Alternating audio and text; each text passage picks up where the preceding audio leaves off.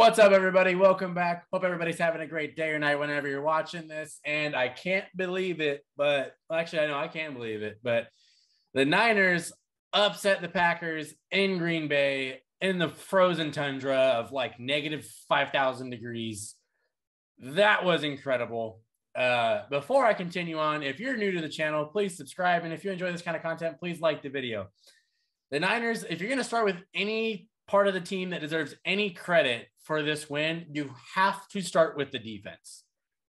Yes, some people might say special teams, but the defense thoroughly kept them in this game literally all night. They had like five sacks.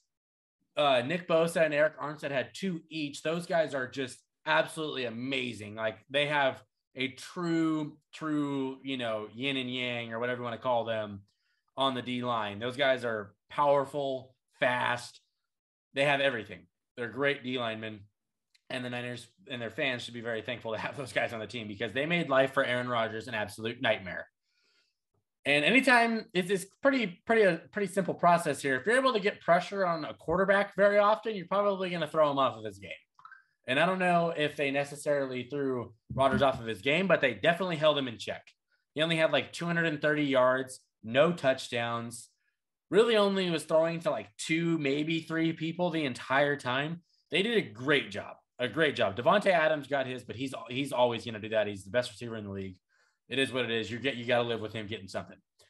But Armstead and Bosa making life an absolute nightmare for uh, Rodgers in the backfield. They were stout against the run. They didn't give up the big. They gave up one big play before the before the half, but they managed to come out of that unscathed because of the special teams. They were really, really, really good. And I personally, I said I thought the Packers would win this game just because of the circumstances, the conditions, and everything like that. I felt like they were just more likely to win this. I was wrong, which is completely fine. And I'm happy to be proven wrong because I love upsets. I was low key rooting for the Niners throughout the game because I, I love seeing an upset. And, I, and if you guys watch my other previous Niners video, I'm very high on this team and I like what they, I think they're a legit threat and they've proven that in the last like two months of the season once they got healthy finally. Uh, so now we got to give the other basically biggest reason they won this game. The special teams, they deserve a ton of credit. Blocking a field goal before the half, that's three points taken off the board for the Packers. So you're keeping them, you're keeping the game close, which if you can do that and you give your team a chance towards the end, that's all you can ask for, especially on the road in a game like this where it's basically like you can't even run full speed because you can't you don't have any grip on the on the turf or grass whatever you want to call it.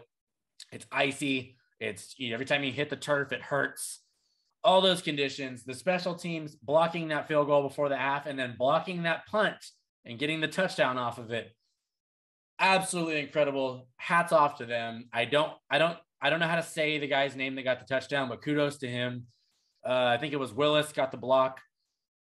It's they they pretty much played really really well in two thirds of the main ways of winning a game, being defense and special teams. Offensively was a struggle, but given the conditions and everything, and the fact that the Packers defense is very good, it was kind of to be expected. I didn't think that it would be like Dallas because I don't think Dallas's defense is as good as Green Bay's, and you know, like I said, conditions and all that.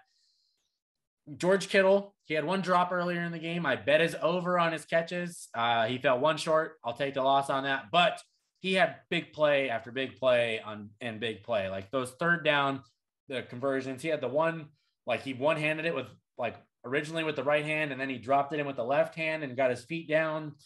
He had the one where he took off down the field on that uh, on the last drive of the game. He's a monster. George Kittle, top two or three tight end, doesn't matter who you're talking to, you have to have him in there. He's a beast. Uh, Elijah Mitchell was he was running hard. There just wasn't a lot of space for him. I thought he was good enough though. Deebo Samuel basically has the biggest play of the game or the most clutch play of the game because I don't know how likely the odds of making that field goal are if they're kicking it from eight or nine yards further out. But that first down run on third down with basically less than a minute to go, you're making sure that Rodgers is not going to touch this ball again. You're not going to lose like you did in like week two or whatever it was.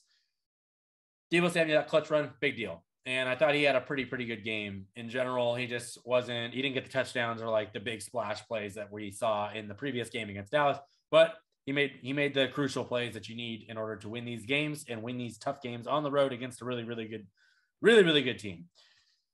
Jimmy G, uh, I don't think he's a long term answer. I don't. I think you draft Trey Lance for a reason, but he was pretty horrible tonight by all accounts. I thought he was pretty pretty bad. Uh, but I got to be fair to him. I did not expect him to have a good game, given the fact he's going up against a top 10 defense. He's on the road, it's snowing.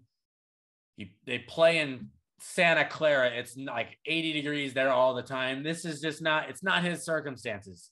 And I thought that they were going to have any success, it was going to be because they had to make big plays somewhere else. And to their credit, they did. And they made more big plays than their opponent. And basically, they might have just ended Aaron Rodgers' Green Bay career. He might be done. He might be going somewhere else in this offseason. Davante Adams, who knows if he comes back? He might just be ready to go to Las Vegas, Miami, or LA or somewhere like that. I think it really just put a lot, a lot of pressure on Green Bay in this offseason. And as of someone that loves that stuff because it's great content personally, and it's fun for to for entertainment and you know, as a fan of the game, seeing those kinds of things unwind throughout an offseason are very, very, very, very fun for me. But I, I, do think that Jimmy G's got at most two more games as a Niner. I don't think he'll be on the team next year.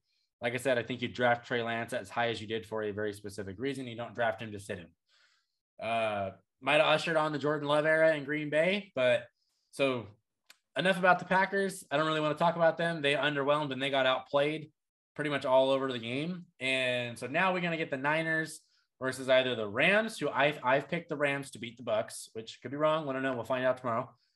Or the Bucks. And they honestly match up pretty, pretty well against both teams. But they anytime that you have a really, really darn good front seven on defense, you match up with most teams pretty, pretty well.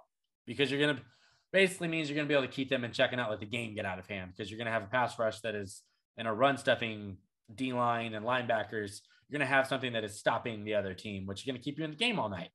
And that's, you know, that's all they had to do. Keep the game in, keep it close. And when we need to make one clutch drive, we're going to make that clutch drive and we're going to pull it off. But I, I think they're, I don't remember what the record is against the Rams the last few years, but I know they've been dominant over them. So I don't, maybe I'll make a video on that later in the week or something once, you know, we get injury reports and everything. Because I know Deebo was limping off the field. Kittle was walking with a limp pretty much the entire team was just beat up, and I you expect that in a game with the conditions that were in this. So if they get the Bucks, you'd have them against Brady, which I mean, Brady is Brady. We know how great he has been his entire career. I think whoever they play, it's going to be a really fun game. I don't. I think it's going to be really close no matter what. I don't think any any team is going to blow out the other team. I'd be very surprised if that happened.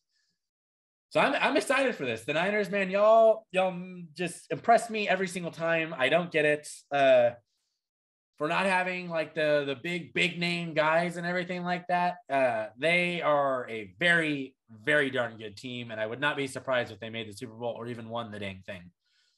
Uh, I don't have much to say more, further than that. I'm really excited for tomorrow's games. We're gonna see how this goes.